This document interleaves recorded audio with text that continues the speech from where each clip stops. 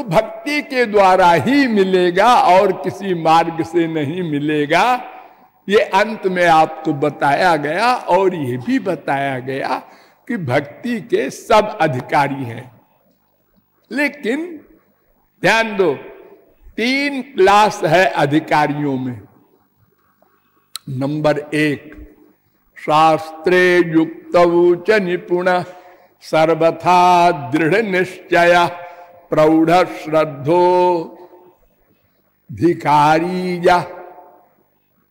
सभक्ता उत्तमो मता।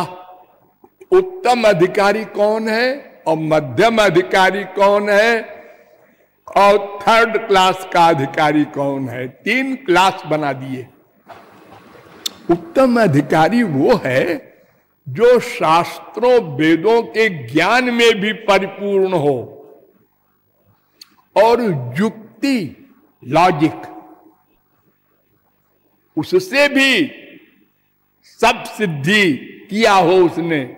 संसार क्या है, जीव क्या है, माया क्या है, भगवान क्या है, मन क्या है, शरीर क्या है, सुख क्या है, दुख क्या है, सब गहराई से शास्त्रों के द्वारा समझे हो। नंबर दो दृढ़ निश्चय।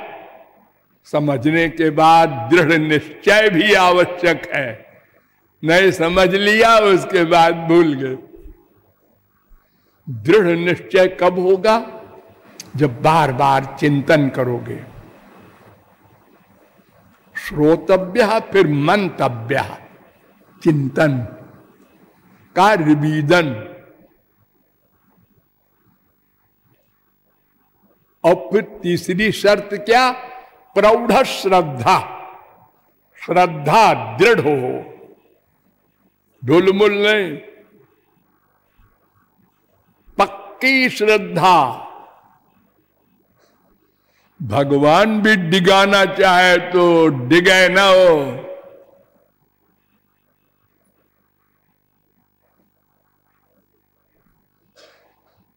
नचिकेता और यमराज का संवाद है कठोपनिषद में।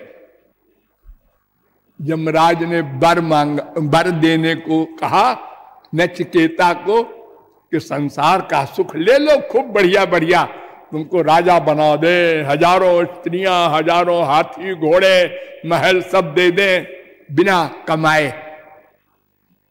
नहीं अरे अच्छा स्वर्ग दे दे। बड़े बड़े ऐश्वर्य है वहाँ। उसने कहा, नहीं, सब नश्वर है। जमराज ने कहा, ये तो बड़ा पक्का है, सुनता ही नहीं कुछ। इतनी लालच दे रहे तो उन्होंने कहा अच्छा सुनो बेटा अन्य श्रेयोन्यदुत प्रेयस तयो श्रेय आददान से साधु भवती। प्रियते अर्थात जाऊ प्रेयो वृणीते। कठोपनिषद दो मार्ग होते हैं। एक श्रेय, एक प्रेय। हम रोज आप लोगों को यही तो बता रहे हैं। जो भगवान की ओर ले जाए, श्री कृष्ण की ओर, वो श्रेय, जो माया की ओर ले जाए, वो प्रेय। तो जो श्रेय की ओर जाता है तो साधु भवती, उसको लक्ष्य मिल जाता है आनंद, प्राप्ति, दुख, निवृत्ति का। अहियते अर्थात जो प्रेय को अपनाता है, संसार में सुख मान करके उसके पीछे भागता है, ये प्रेय। वो दुख ही दुख पाता है, बंधन ही बंधन पाता है, चौरासी लाख में घूमता रहता है। बस दो मार्ग है। और दो में एक की ओर जाना पड़ेगा। कोई एक है मैं इस चक्कर में पड़ता ही नहीं हूँ तुम्हारे श्रेय प्रेय के। पेंडिंग में रहोगे? ये नहीं हो सकता। ये असंभव है। अकर्मा नहीं रह सकते।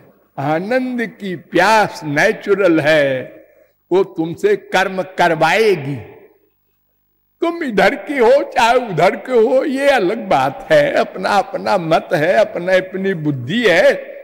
या लोगों के द्वारा जो बुद्धि जिसको मिल गई, उधर भाग पड़ा? एक ने कहा, अरे, तुम क्या नौकरी के चक्कर में पड़े हो? हज़ार, दो हज़ार, दस हज़ार, एक लाख मिल जाएगा महीने में, और क्या होगा? हमारे साथ, चलो, डाका डालेंगे, बैंक में इकट्ठे करोड़पति बनेंगे। कहा हाँ यार, बड़ा अच्छा है तो। गुलामी करने की ज़रूरत क्या? हो गया डाकू। लेकिन कर्म करना पड़ेगा, इन दो मार्गों में एक की ओर जाना पड़ेगा।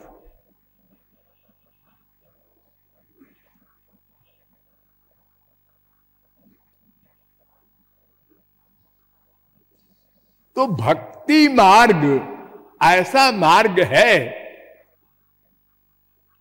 कि इसमें पूर्ण योग्य नंबर एक वाला अधिकारी वो है जो शास्त्र और युक्ति में निपुण हो, सब दृढ़ निश्चय हो और श्रद्धा भी प्रगाढ़ हो। उसका पतन नहीं हो सकता। कोई उसको गिरा नहीं सकता। सब फिलॉसफी उसको मालूम है। उसके पास कोई आके कहे श्री कृष्ण तो काम क्रोध लोम से परे नहीं थे, तुम क्या उनके पीछे पड़े हो? एक एक स्त्री के दस दस बच्चे वो काम रहे थे इम्पॉसिबल अरे ये अर्जुन वगैरह सब संसारी थे। हज़ारों लाखों मर्डर किया और कहते हो कि सर्वत्र भगवान को देखते थे। हाँ यार, बात तो ठीक कहते हो तुम। आ गया चक्कर में।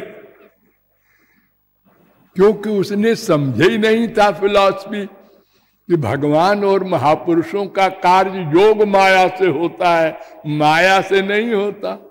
और हमारा माया से होता है, हम माया के अंडर में हैं।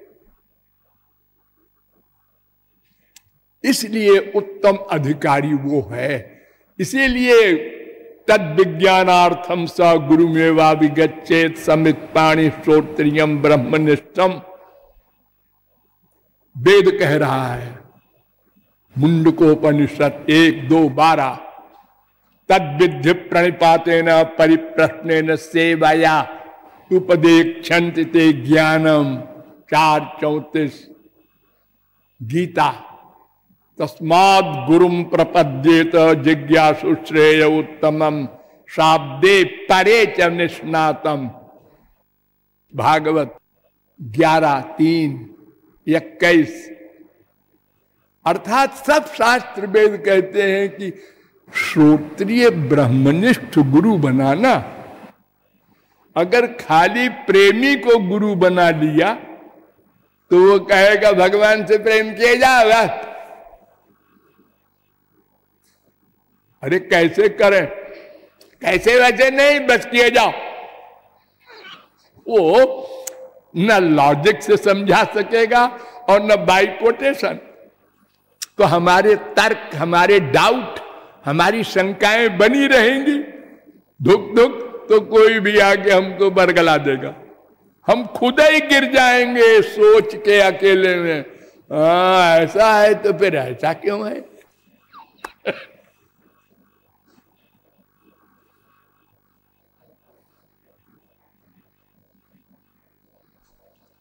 नंबर दो का अधिकारी। यह शास्त्राद्य स्वनिपुण श्रद्धावान सतु मध्यम। जो शास्त्रादिक का ज्ञान तो न रखता हो, लेकिन श्रद्धा हो उसकी।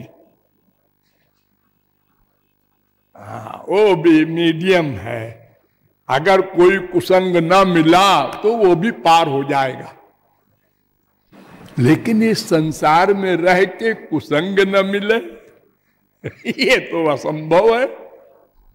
और कुसंग तो इतना भयानक होता है, एक क्षण का कुसंग मिला था अजामिल को। वो पापियों के एग्ज़ाम्पल बन गया। एक क्षण का कुसंग मिला था सौभरी मुनि को। और वो पचास लड़कियों से ब्याह करके पाँच हज़ार बच्चों के बाप हो गए।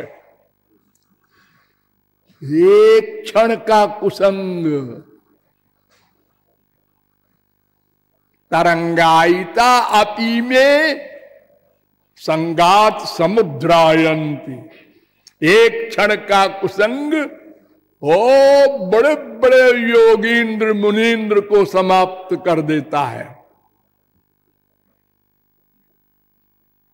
इसलिए श्रद्धावान को तो होशियार रहना पड़ेगा, किसी की बात सुनो मत, किसी को समझाने की चेष्टा करो मत, बस साधना किए जाओ तो वो श्रद्धावान भी पार हो जाएगा।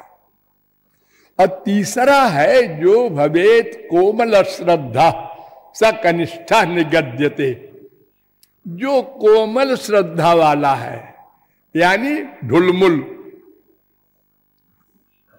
भगवान अंदर बैठे हैं, लेकिन बैठे हैं कि नहीं बैठे हैं, क्या पता?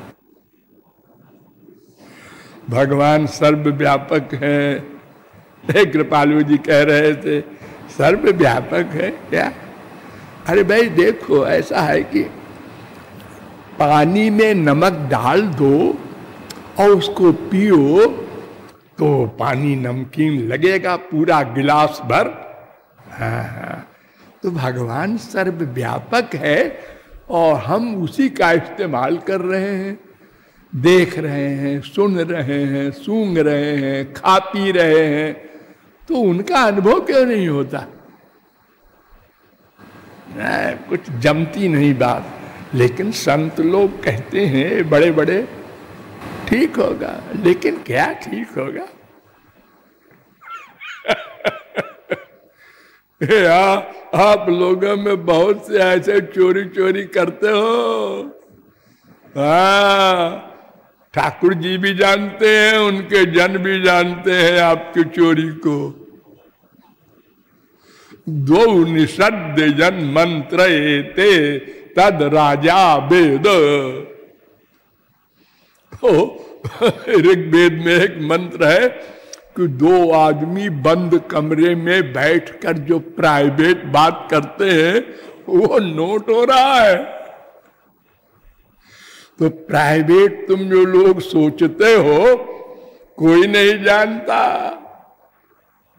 सब नोट होता है। सबका फल मिलता है। तो तीन प्रकार के अधिकारी हैं। तो जो शास्त्रों के द्वारा तत्व ज्ञान प्राप्त करते हैं, ब्रह्मनिष्ठ संत के द्वारा और श्रोत्रीय संत के द्वारा, वे कहते हैं कि देखो, भक्ति समस्त शास्त्रों में बताई गई है। कोई ऐसी बुक नहीं जिसमें भक्ति के अलावा और किसी मार्ग से भगवान मिले हो, आनंद मिले हो। अरे वेद ही को देख लो। नारायण परा वेदा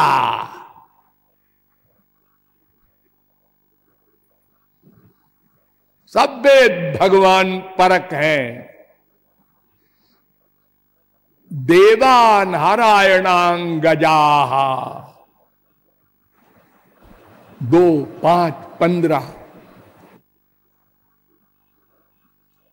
नारायण परो योग। नारायण परम ज्ञानम। सब भगवान की ओर ले जाने के लिए मार्ग बने हैं। हम अल्पज्ञ नहीं समझते। और महापुरुषों के द्वारा समझाई बात को मानते नहीं, इसलिए सब गड़बड़ है। ब्रह्मा कह रहा है, ध्यान दो, ब्रह्मा जिसने सबसे पहले वेद को देखा और वेद का अर्थ वो नहीं समझ सका, तेने ब्रह्म हृदय आदि कवये मुहयंत जत सूरया।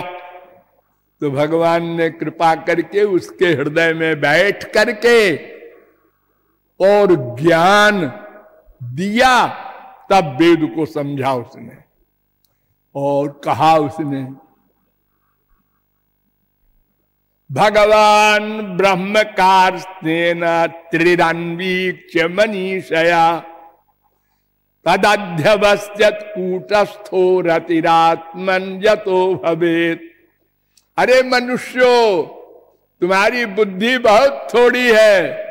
तुम शास्त्र वेद का अध्ययन भले ही कर लो। वो भी मुश्किल है कलयुग में। और इतने लंबे चौड़े हैं वो शास्त्र वेद कि तुम्हारी उम्र समाप्त हो जाएगी, तुम पढ़ भी नहीं सकोगे।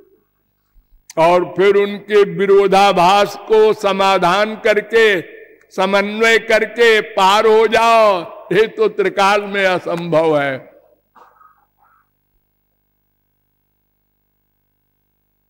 मैं बता रहा हूँ, तीन बार वेदों का मंथन करके मैंने एक निश्चय बता दिया है। सुन लो, केवल श्री कृष्ण में मन लगाकर अनन्य भक्ति करो, ये सार है वेदों का। वेद व्यास ने भी कहा, वो भी भगवान के अवतार हैं। आलोड्य सर्वशास्त्राणी विचार पुनः पुनः। छो शास्त्रों का मंथन किया, बार बार। पुनः पुनः कम सुनिष्पन्नम धेयो नारायणो हरि। और ये निश्चय किया कि केवल भगवान की भक्ति ही करना और कुछ नहीं करना। पद्म पुराण कहता है, स्मर्तव्य सततम विष्णुर्भिस्मर्तव्यो न जातुचित। सर्वे विधि निषेधास्यु रेतयो रेव किंकरा। ये तमाम विधि निषेध जो वेदों में बताए हैं, विधि निषेध क्या? ये करो ये करो ये करो, ये विधि। ये ना करो, ये ना करो, ये ना करो। सत्यम बद धर्मंचर सच बोलो, धर्म का पालन करो। झूठ ना बोलो, अधर्म न करो, ये विधि निषेध है। तो सारे विधि निषेध का सार क्या? निरंतर भगवान का स्मरण करो ये विधि। भगवान को एक क्षण को न भूलो, ये निषेध। उद्धव श्री के परमहंस से भगवान ने श्री कृष्ण ने कहा ग्यारह बारह तेरह मत कामारमणम जार मस्वरूप विदो बलाह ब्रह्म माम परमं प्रापु संगाक्षत सहस्त्र ग्यारह बारह तेरह भागवत उद्धव मेरे स्वरूप को न जानने वाली गोपियाँ केवल काम भाव से मेरी शरण में आ गई, प्यार कर लिया। मेरे रूप को देख करके, मेरे गुण को देख करके,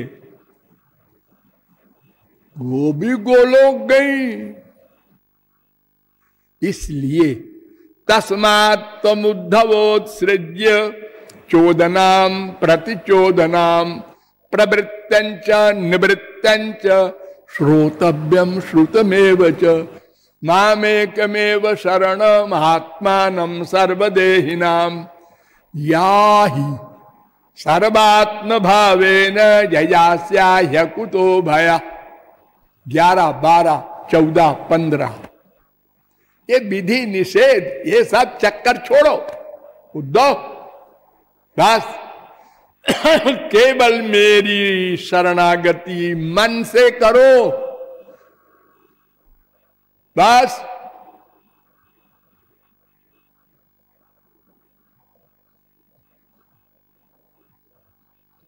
तो सब शास्त्रों वेदों का एक वाक्य है, भगवान की भक्ति ही उनका मन से स्मरण ही एकमात्र लक्ष्य को प्राप्त करा सकता है।